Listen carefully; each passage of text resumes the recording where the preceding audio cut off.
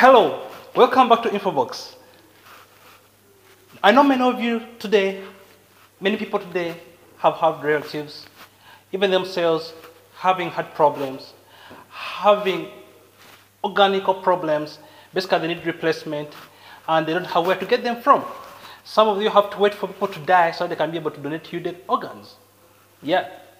However, things have changed. Today is what we call tissue printing. They just, if you want a heart, they just print it for you there and then. Then you have a heart.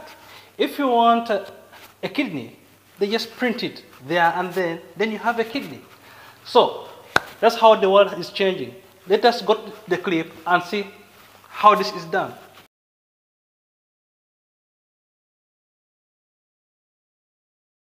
Cleaning, this is what you get. A replacement blood vessel made out of your cells. This blood vessel is the width of a few human hairs. Back in North Carolina, they're developing another application for bioprinting, for wounds. One of the strategies is to have a printing machine that not only prints but also scans. So basically the patient is first scanned, so the wound area gets a scan of the wound and then we're able to go back with the printer and print the right layers of tissues right where they belong. Now, for most organs, there's still a long way to go before they'll be ready for patients. But research is progressing on artificial kidneys, heart valves, large blood vessels, and skin. Here it's being slowly stretched out.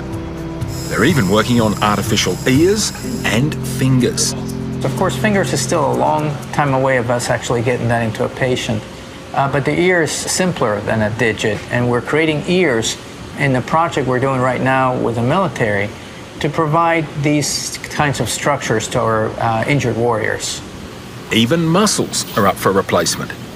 To create artificial muscle, we use the same strategies as we have used with other tissues, but we also exercise them. We put them in these small bioreactors, these exercise machines that actually stretch and compress the muscle structures so they build up strength over time before we implant them.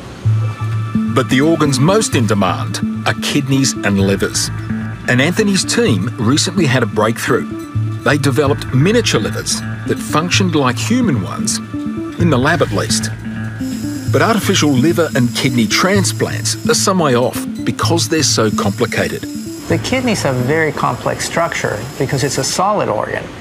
And so unlike other structures like flat structures such as skin, which are the simplest, tubular structures like blood vessels or urethras, which are a second level of complexity, or even the bladders, which are a third level of complexity, the kidneys are a solid organ and have a fourth level of complexity.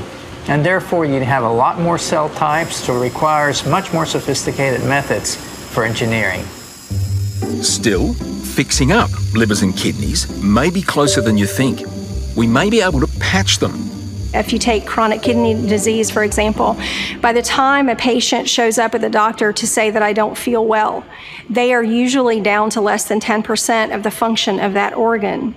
That says you don't need the whole organ to be replaced to feel well. The tissue that is required to replace is actually only 10 to 20% to change the way that patient feels, change their quality of life, and, and really uh, be effectively a cure for them.